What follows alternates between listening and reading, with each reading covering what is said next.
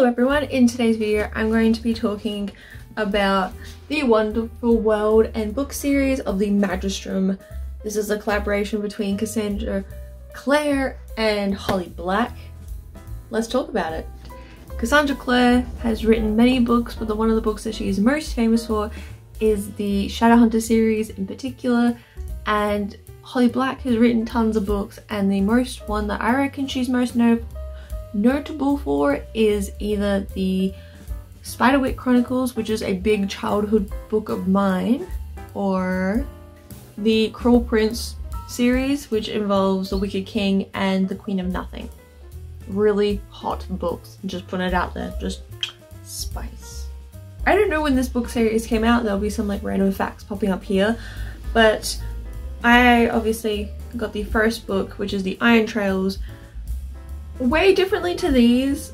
I prefer the way these look, don't come from me, but I'm not buying another book just to fit that, so you're gonna have to deal. But what is the Magisterium all about?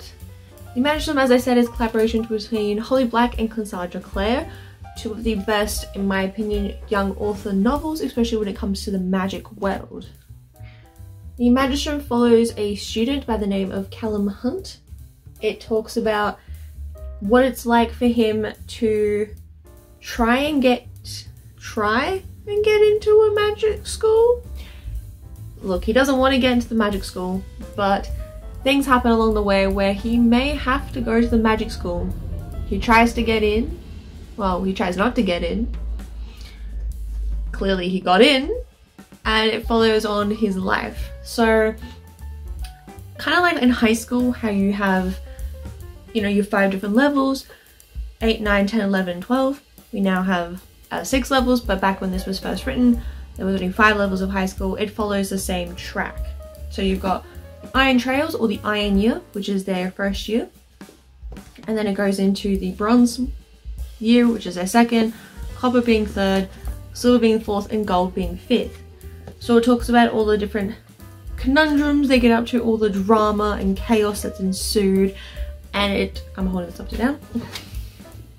and it talks about all of the magic and friendship and more that happens. There's a lot of twists and turns and if you want a quick little read, these are amazing. I read two of these books on the camping trip, which you can look at up in the corner, but these are such a good book series. I love it so much. This is a great starter book for anyone who's trying to get into kind of the magic world but is still a bit unsure and doesn't want to get too overwhelmed with new information or random things.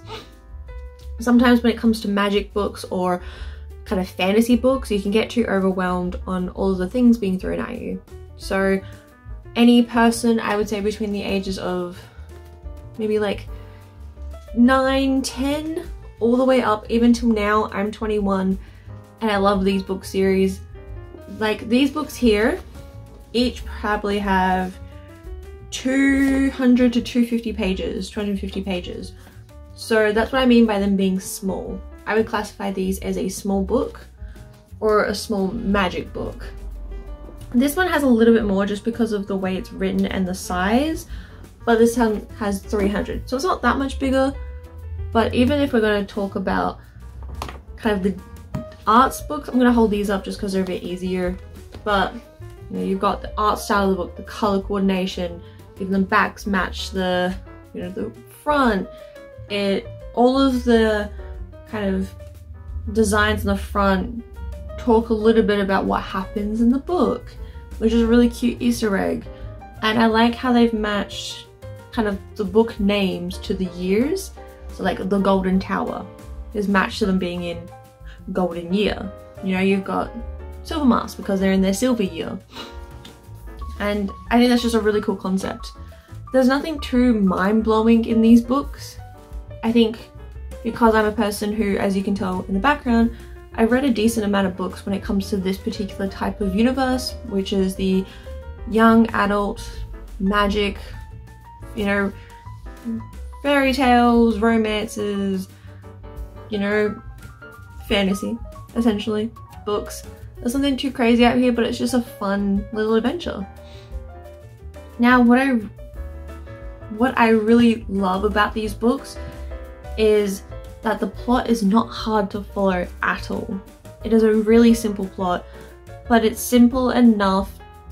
It's a simple enough plot to not get confusing, but it's got some good twists and turns that make you want to keep reading. Like I said, I went on a camping trip for three days. I took two of these books with me and I finished a book per day or technically both of them in a day. I spent like three hours reading one book, two reading another. They're just beautiful books. From the cover to the insides, how they're written, just the way they talk about everything is really beautiful. I'm going to read the blurb of the first book and you can decide from there if you want to read the series or not. Think you know magic, think again. Most people would do anything to get into the Magisterium and pass the Iron Trial. Not Callum Hunt. Cal, or Callum, has been told his whole life he should never trust a magician or a Magistrum. And so he tries his best to do his worst, but fails at failing. He now he must enter the Magisterium, is a place that both sensation that is both sensational and sinister and Cal realizes it has dark ties to his past and a twisted path to his future. The Iron Trial is just the beginning. Cal's biggest test is still to come. If that doesn't sound like a cool book to you, I don't know what does. Again, really simple, really cute, but it's just a lot of fun.